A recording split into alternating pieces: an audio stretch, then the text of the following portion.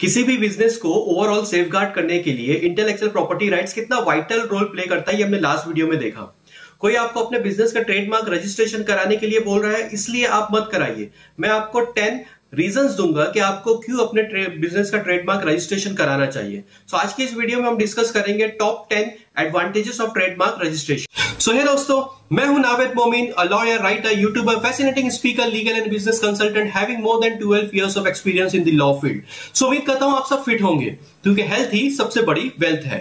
सो so, चलते हैं आज के हमारे टॉपिक की तरफ़। लेकिन उससे पहले चैनल को सब्सक्राइब ज़रूर कीजिए और साथ ही बेल नोटिफिकेशन आइकन को भी टैग कीजिए ताकि मेरी हर वीडियो का नोटिफिकेशन आप तक सबसे पहले पहुँचे। सो लेट्स नंबर वन है प्रोटेक्शन अगेंस्ट कॉपिंग आपके business name sign symbol line logo और वर्ड फ्रेज के ऊपर आपका एक्सक्लूसिव राइट होता है। आपके अलावा इन चीज़ों को और कोई यूज़ नहीं कर सकता, कोई कॉपी नहीं कर सकता। और आपकी परमिशन के बगैर अगर इन सारी चीज़ों को कोई अगर यूज़ करता है तो आप उसके अगेंस्ट में लीगल प्रोसीडिंग्स इनिशिएट कर सकते हैं। सेकंड है प्रोटेक्शन अगेंस्ट इन्फ्रिंजमेंट इन्फ्रिंजमेंट का मतलब है उल्लंघन करना। इस फ्रेज को अगर हम लेमैन वर्ड्स में समझने की कोशिश करें तो इसका मतलब यह है कि अगर आप अपने बिज़नेस का ट्रेडमार्क रजिस्ट्रेशन जिस नाम से भी कराना चाहते हैं, उस नाम से अगर अपोजिट पार्टी ने ऑलरेडी अपना रजिस्ट्रेशन करा रखा है और उसकी परमिशन के बगैर आप अगर उस नाम को यूज़ करते हैं तो इसका मतलब यह है कि आपने उसके राइट का उल्लंघन किया है। और इसके लिए वो आपके अगेंस्ट में इन्फ्रिंजमेंट का केस फ़ाइल कर सकता है।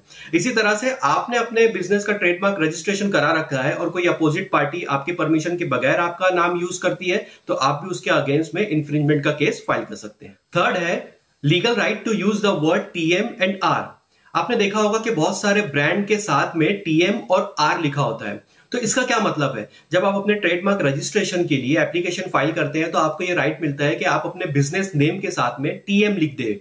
और आपका जब एप्लीकेशन अप्रूव हो जाता है तो आप सर्कल में आर लिख सकते हैं। इसका मतलब है रजिस्टर्ड सो so, जिस भी ब्रांड के साथ में आपको टीएम या आर लिखा हुआ दिखे तो इसका मतलब यह है कि ये ब्रांड जो है या तो एप्लीकेशन अप्लाइड है या तो फिर एप्लीकेशन अप्रूव्ड है। तो ऐसे ब्रांड नेम को आपको कॉपी नहीं करना है। फोर्थ है build trust goodwill and loyalty अगर आप अपना खुद का एनालिसिस करें तो आपको पता चलेगा कि आप कुछ ब्रांड के प्रोडक्ट्स यूज़ करते हैं जिनसे आप किसी भी कीमत पर स्विच नहीं करना चाहते। चाहे आपको उससे बेटर क्वालिटी का प्रोडक्ट दिया जाए या उससे सस्ता प्रोडक्ट दिया जाए आप उससे स्विच नहीं करेंगे। सो so, इसी तरह से जब हम अपने बिज़नेस का ट्रेडमार्क रजिस्ट्रेशन कराते हैं तो over a period of time market में हमारा एक ब्रांड वैल्यू क्रिएट हो जाता है एक गुडविल क्रिएट हो जाती है और कस्टमर्स के बीच में हमारा एक ट्रस्ट बिल्ड हो जाता है। और यही कस्टमर जो है over a period of time हमारे लॉयल कस्टमर्स में कन्वर्ट हो जाते हैं जिस तरह से आप बने हुए हैं। फिफ्थ है असेट क्रिएशन एक बार आपने ट्रेडमार्क रजिस्ट्रेशन करा ली उसकी वैलिडिटी टेन ईयर्स तक होती है। So trademark registration long run में आपके लिए एक एसेट की तरह काम करता है।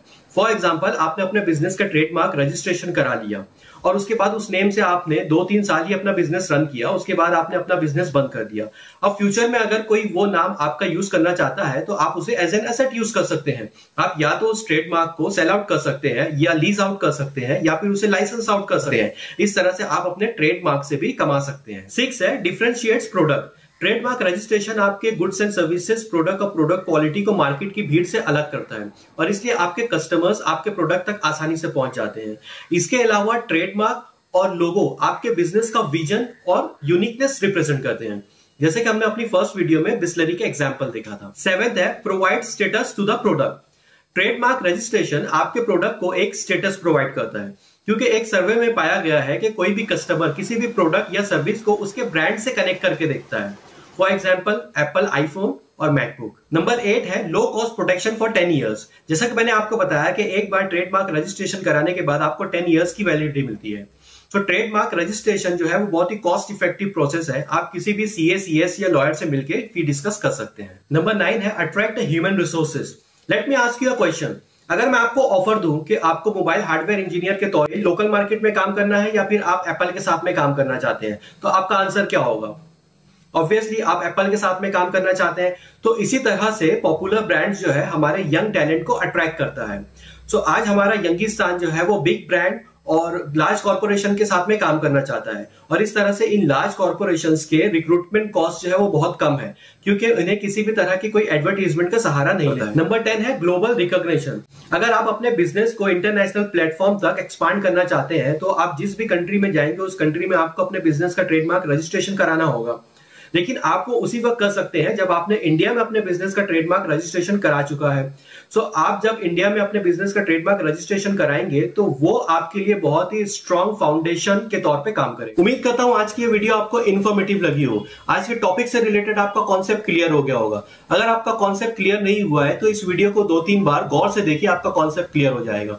वीडियो अगर पसंद आई तो इसे लाइक कीजिए और शेयर कीजिए अपने फैमिली एंड फ्रेंड्स के साथ जिन्हें आपके हिसाब से इस वीडियो की इस इन्फॉर्मेशन की ज़रूरत और कमेंट करके मुझे अपनी कीमती राय का इजहार ज़रूर कीजिए, ताकि मुझे पता चले कि मैं जो इतना एफर्ट डाल रहा हूँ, वो फ्रूटफुल है या फिर फ्यूटाइल है।